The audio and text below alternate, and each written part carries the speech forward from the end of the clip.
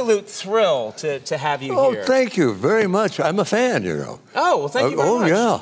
Oh. I like the way you move. You move pretty good.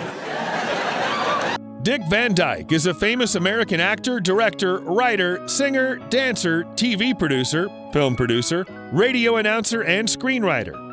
He's famous for his roles in iconic musical films such as Bye Bye Birdie, Mary Poppins, and Chitty Chitty Bang Bang. The award winning career of this actor has spanned seven decades. This actor has won a Grammy Award, five Primetime Emmy Awards, and a Tony Award. Back in 1995, Van Dyke was inducted into the Television Hall of Fame. And in 2013, he received the SAG Life Achievement Award, which is the Screen Actors Guild's highest honor. Dick has been inducted into the Hollywood Walk of Fame. Completely blew me away. Oh, so gr- funny and so original. And then I find out you're not a trained dancer. No, no, I'm not, I never even thought about dancing until I was in my 30s, till I had to. If you enjoy these videos, please remember to hit the like button, as it does help us out a lot. And comment below who your favorite celebrity is that you'd love to see in an upcoming video. His full name is Richard Wayne Van Dyke, but is also known as Dick Van Dyke. He was born December 13, 1925, in West Plains, Missouri, making him 95 at the time of this production. He stands at 6 feet tall or 1.85 meters. The star sign of Dick Van Dyke is Sagittarius. In the past, he struggled with alcoholism and checked into a hospital for three weeks in 1972 to be treated for this addiction. He's now sober. Back in 1987, his granddaughter Jessica died from Reye syndrome.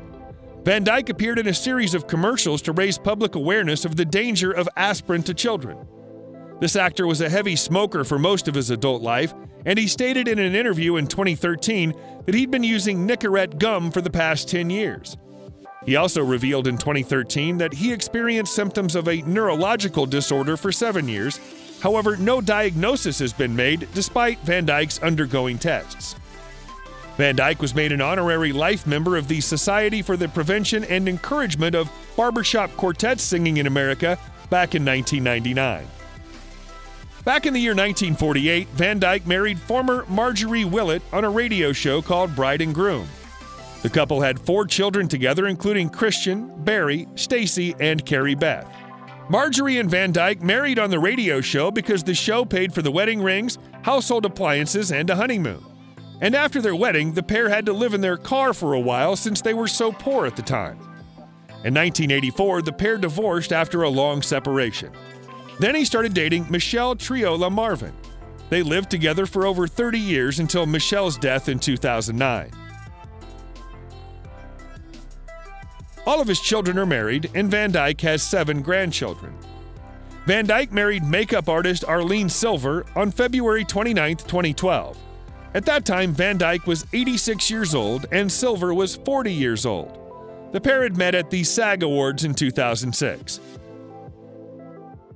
I, I had Gower Champion, who was the director and the choreographer of Bye Bye Birdie. Yeah. And he said, We'll teach you. And he did.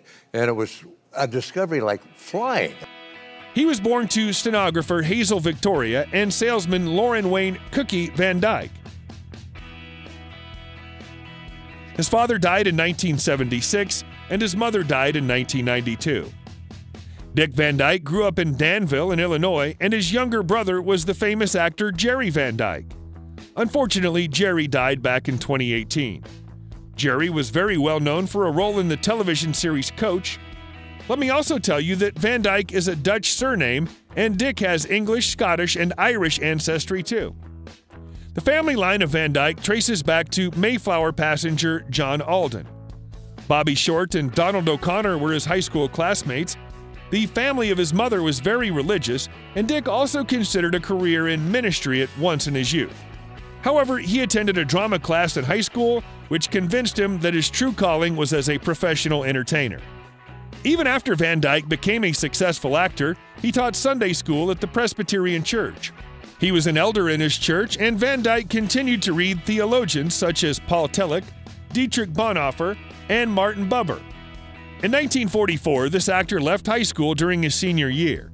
He intended to join the U.S. Army Air Forces as a pilot during the Second World War. However, Van Dyke was denied enlistment many times because he was underweight. Eventually, Van Dyke was accepted for service as a radio announcer. Later, he was transferred to the Special Services and entertaining troops in the continental United States. Back in 2004, Van Dyke received his high school diploma. At the time, he was 78 years old. In the late 1940s, this man was a radio DJ in Danville when he formed a duo with Phil Erickson in 1947. The duo was called Eric and Van, the Merry Mutes. They toured the West Coast nightclub circuit and used to perform a mime act and lip sync to old 78 records. Then in the early 1950s, the team brought their act to Atlanta in Georgia. They performed on a local TV show performing original skits and music known as the Merry Mutes. Dick made his Broadway debut in 1959 when he appeared in The Girls Against the Boys. Later, he starred in Bye Bye Birdie, which ran from 1960 to 1961.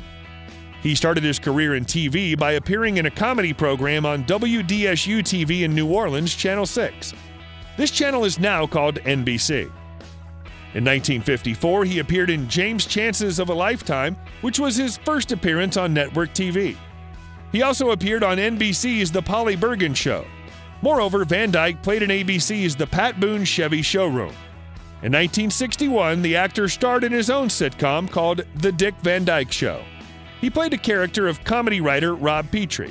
The show was successful and ran until 1966. His next project was the new Dick Van Dyke Show. This show ran from 1971 to 1974.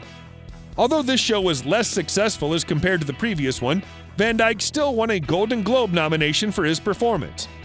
The third show, named after Van Dyke, was Van Dyke and Company. It was a short lived sketch comedy show and featured Super Dave Osborne and Andy Kaufman. Dick also enjoyed a successful film career. In 1964, he starred in Mary Poppins, and Van Dyke is also a successful author. He published his first book, Alter Egos, in 1967. Then in 1970, Van Dyke published a book titled Faith, Hope, and Hilarity. In 1975, the actor published his third book called Those Funny Kids. And from 1993 to 2001, Van Dyke appeared in the TV drama Diagnosis Murder. In 2017, Van Dyke recorded a single duet for Christmas with the popular actress Jane Lynch. Me. They're on me like a pack of wolves. Uh, I mean, it was the worst Cockney accent ever done. But I was, the guy who taught me was an Irishman. The primary source of his wealth is film and television. The actor has earned money from acting, directing, producing, and screenwriting. Moreover, Van Dyke also made millions of dollars from brand endorsements. He's also a published author and has earned money from various books such as Alter Egos, Those Funny Kids, and Keep On Moving, and other tips and truths about aging. The total net worth of Dick Van Dyke is $50 million. The successful actor currently lives in his house in Malibu, California. The property is worth nearly $9 million, and Van Dyke's house features a spacious kitchen, swimming pool, four bedrooms, and three bathrooms.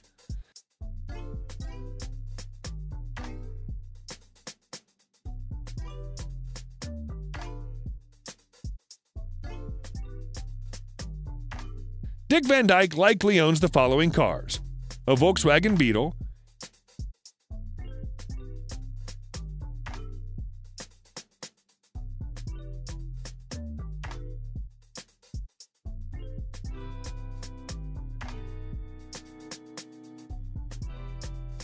a Jaguar XJ,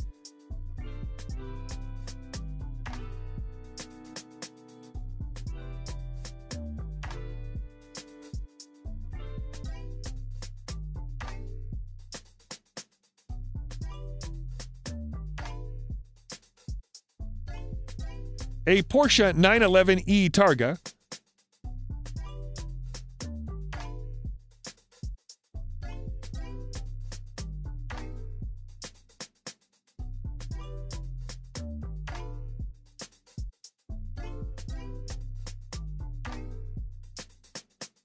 a BMW,